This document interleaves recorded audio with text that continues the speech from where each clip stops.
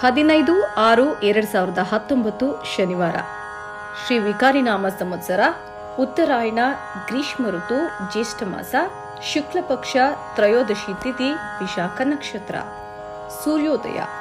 ಬೆಳಗ್ಗೆ ಐದು ಗಂಟೆ ಐವತ್ತೆರಡು ನಿಮಿಷ, ಸೂರ್ಯಾಸ್ತ ಸಂಜೆ ಆರು ಗಂಟೆ ನಲವತ್ಮೂರು ನಿಮಿಷ. ಚಂದ್ರೋದಯ. ಸಂಜೆ ಐದು ಗಂಟೆ ಐವತ್ತೊಂಬತ್ತು ನಿಮಿಷ, ಚಂದ್ರಾಸ್ತ ಬೆಳಗಿನ ಜಾವ ನಾಲ್ಕು ಗಂಟೆ ಐವತ್ತು ನಿಮಿಷ. ರಾಹುಕಾಲ ಬೆಳಗ್ಗೆ ಒಂಬತ್ತು ಗಂಟೆ ಐದು ನಿಮಿಷದಿಂದ ಹತ್ತು ಗಂಟೆ ನಲವತ್ತೆರಡು ನಿಮಿಷದವರೆಗೆ ಯಮಕಂಟಕ ಕಾಲ. ಹಗಲು ಒಂದು ಗಂಟೆ ಐವತ್ನಾಲ್ಕು ನಿಮಿಷದಿಂದ ಮೂರು ಗಂಟೆ ಮೂವತ್ತೊಂದು ನಿಮಿಷದವರೆಗೆ. ಶುಭ ಮುಹೂರ್ತ.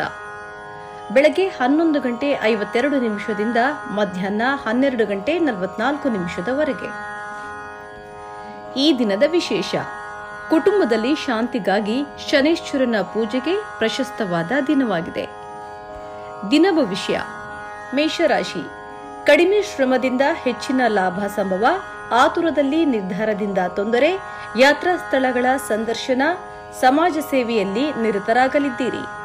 ಋಷಭರಾಶಿ ಸೌಂದರ್ಯವರ್ಧಕ ವಸ್ತುಗಳ ಖರೀದಿ, ಬ್ಯಾಂಕ್ ಸಾಲ ಸಿಗುವ ಸಾಧ್ಯತೆ, ಅನಾವಶ್ಯಕ ಖರ್ಚು ಉಳಿಸಿ, ಆತ್ಮೀಯರ ಭೇಟಿ, ಕಾರ್ಯಸಿದ್ಧಿ.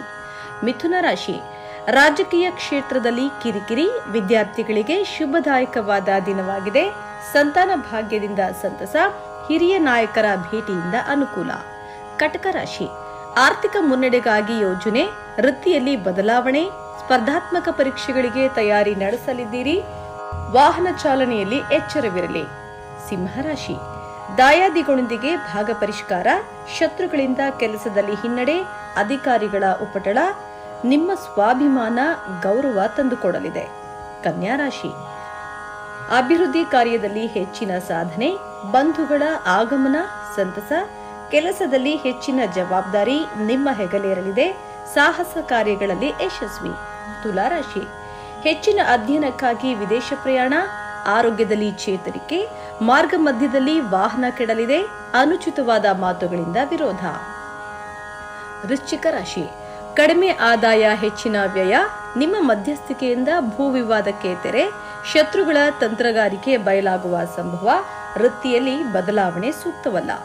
ಧನಸ್ಸು ರಾಶಿ. ಅತ್ಯುತ್ತಮ ನಿರ್ಧಾರದಿಂದ ಕಾರ್ಯಸಿದ್ಧಿ, ಸನ್ಮಾನ ಸಮಾರಂಭದಲ್ಲಿ ಪಾಲ್ಗೊಳ್ಳುವ ಅವಕಾಶವಿದೆ. ಉತ್ತಮ ಸ್ನೇಹಿತರ ಪರಿಚಯ, ಖರ್ಚಿನಲ್ಲಿ ಹಿಡಿತವಿರಲಿ. ಮಕರ ರಾಶಿ. ಶುಭ ಕಾರ್ಯದ ವ್ಯವಸ್ಥೆಗಳನ್ನು ನಡೆಸಲಿದ್ದೀರಿ. ಕೌಟುಂಬಿಕ ಸಾಮರಸ್ಯದಿಂದ ಸಂತಸ, ಉನ್ನತ ಹುದ್ದೆಗೆ ಪ್ರಯತ್ನ, ವಿಶೇಷ ಭೋಜನಕ್ಕಾಗಿ ಆಹ್ವಾನ. ಕುಂಭರಾಶಿ.